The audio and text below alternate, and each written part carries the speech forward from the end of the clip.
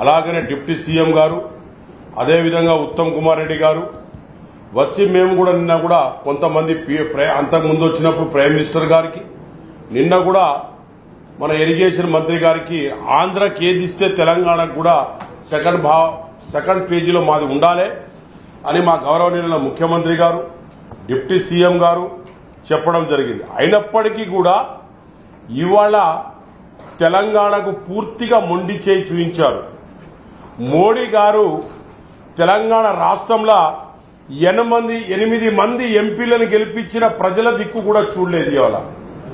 మరి సీతారాం మన finance minister గారు వారు కూడా తెలుగు వచ్చు కాబట్టి పక్క రాష్ట్రం ఆవిడ కాబట్టి ఆమె కూడా మరి ఆ కన్విన్స్ చేసి ఎలా చెప్పాలి? ప్రైమ్ మినిస్టర్ గారికి కూడా ఫైనాన్స్ మినిస్టర్ గారు చెప్పలేకపోయారు.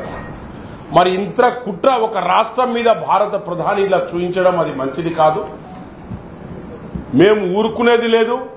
మేము సెంట్రల్ హాల్లో కానీ పార్లమెంట్లో పోరాటం చేసి తెలంగాణ తెచ్చుకున్నాం మేము పోరాటం మా రూలింగ్ గవర్నమెంట్ ఉన్నప్పుడు కూడా పోరాటం చేసినాం మేము. ఈసారి రేపటి నుంచి మా పోరాటం తప్పకుండా సాగుతుంది. మేము డెఫినెట్గా మా రాష్ట్రానికి నిధులు వచ్చేదాకా మేము పోరాటం చేస్తామని చెప్పడం జరుగుతుంది. ఎందుకంటే తెలంగాణ రాష్ట్రం ఎంత వెనుకబడి ఉన్నది? పోయినసారి పది సంవత్సరాలు కూడా ఏ మాత్రం ఒక రూపాయి కూడా ఎస్టీ ఎస్సీ బడుగు బలైన వర్గాలకు ఉన్న రాష్ట్రం అది. ఎస్టీ ఎస్సీలు ఎక్కువ ఉన్న బీసీలు ఎక్కువ ఉన్న రాష్ట్రం అది.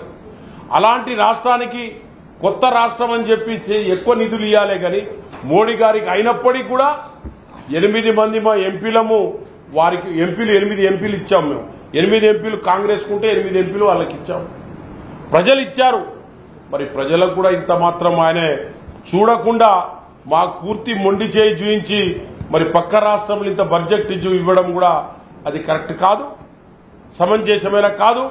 మరి మా రాష్ట్రానికి వచ్చిన మరి మంత్రివర్యులు కూడా మా రాష్ట్రాన్ని ఉన్న మంత్రివర్యులు కూడా వారు మరి బడ్జెట్లో ఏ విధంగా మరి హైదరాబాద్ ప్రజలకు నోరు చూయి నోరు నో మన వారి ఫేస్ ఎలా చూపించాలనేది కూడా మరి ఆ మంత్రివర్యులు మరి ఫైనాన్స్ మినిస్టర్ కలిసి బిఫోరే కలిసి మేము పోయినసారి మా యూపీఐ గవర్నమెంట్లో మేము ఒక ఫైవ్ డేస్ ముందే పోయి ఫైనాన్స్ మినిస్టర్ ప్రైమ్ మినిస్టర్ కలిసేవాళ్ళం.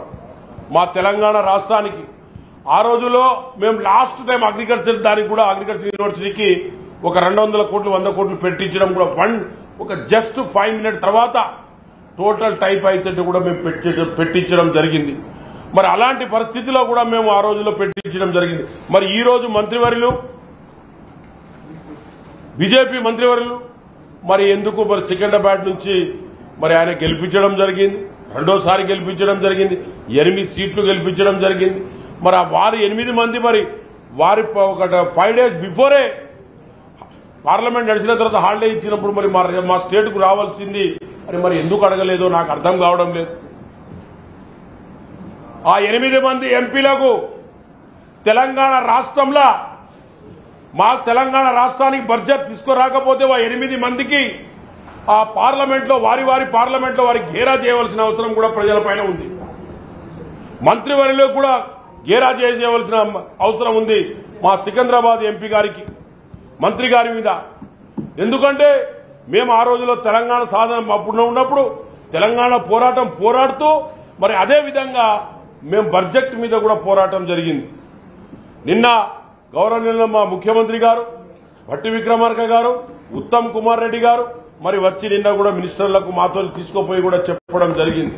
అంతకుముందు ప్రైమ్ మినిస్టర్ కూడా చెప్పడం జరిగింది. ఉన్నప్పటికీ కూడా మాకు మొండి చేయి చూయించి మా రాష్ట్రానికి చేశారు. మరి మరి ఎనిమిది మంది ఎంపీలు గెలిపించారు ప్రజలు. కాబట్టి గుర్తుకు వచ్చిన విషయం ఉంది. ఎంతైనా